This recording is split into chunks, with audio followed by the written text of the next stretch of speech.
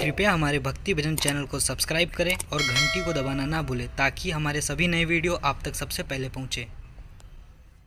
तुलसी जय तुलसी बड़ी, हरियर